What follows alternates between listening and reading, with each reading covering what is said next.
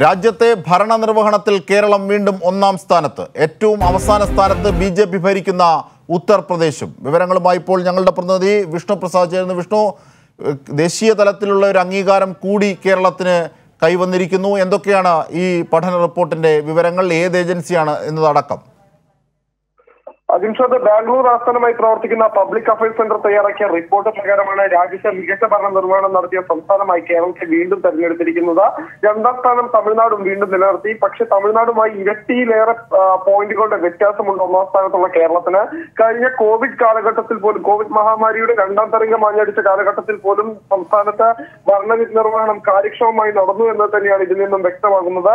കേന്ദ്രാവിഷ്കൃത പദ്ധതികളായിട്ടുള്ള ഗ്രാമീണ തൊഴിലുറപ്പ് പദ്ധതി സമഗ്ര വിദ്യാഭ്യാസ വിദ്യാഭ്യാസ യജ്ഞം സ്കൂളുകളിലെ ഉച്ചഭക്ഷണ പദ്ധതി നടത്തിപ്പ് ദേശീയ ആരോഗ്യ മിഷൻ തുടങ്ങിയ അഞ്ചോളം പദ്ധതികളാണ് ഈ ഒരു പുരസ്കാരത്തിന് മാനദണ്ഡമായി തെരഞ്ഞെടുത്തിട്ടുള്ളത്. കൂടാതെ രണ്ടാം സ്ഥാനത്തേക്ക് തമിഴ്നാടും മൂന്നാം സ്ഥാനത്തുണ്ടായിരുന്ന ആന്ധ്രാപ്രദേശിനെ മറികടന്ന് തെലങ്കാനയും ആദ്യ സ്ഥാനങ്ങൾ നേടി. ആദ്യ സ്ഥാനങ്ങളിലെല്ലാം തന്നെ ആദ്യ അഞ്ച് സ്ഥാനങ്ങളിൽ അഞ്ചാം സ്ഥാനത്തുള്ള ഗുജറാത്ത് ഒഴികെ ബാക്കി എല്ലാ സംസ്ഥാനങ്ങളും ഉത്തരേ ദക്ഷിണേന്ത്യൻ സംസ്ഥാനങ്ങളാണ്.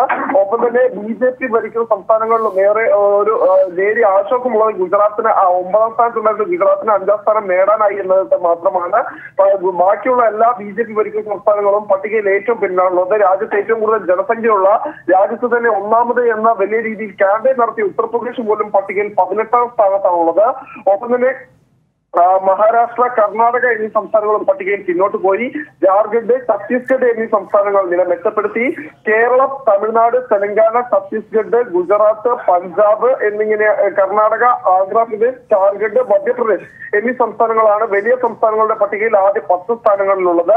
ചെറിയ സംസ്ഥാനങ്ങളുടെ പട്ടികയിൽ സിക്കിം ഗോവ മിസോറാം ഹിമാചൽ പ്രദേശ് ത്രിപുര എന്നിവയാണ് ആദ്യ അഞ്ച് സ്ഥാനങ്ങളിലുള്ളത്.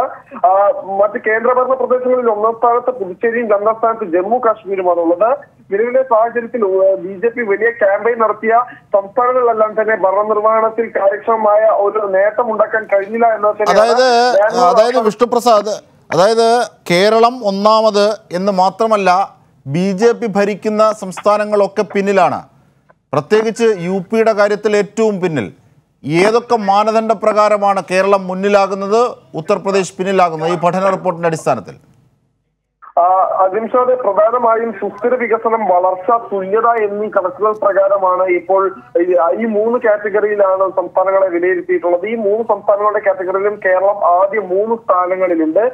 ബാക്കി പട്ടിക അതായത് നേരത്തെ സൂചിപ്പിച്ചതുപോലെ അഞ്ചോളം കേന്ദ്രാവിഷ്കൃത പദ്ധതികൾ നടപ്പിലാക്കിയ സംസ്ഥാനങ്ങളുടെ ഒരു കണക്കെടുക്കുമ്പോഴും കേരളം അതി മികച്ച രീതിയിൽ തന്നെ പ്രവർത്തനം കാഴ്ചവെച്ചിട്ടുണ്ട്.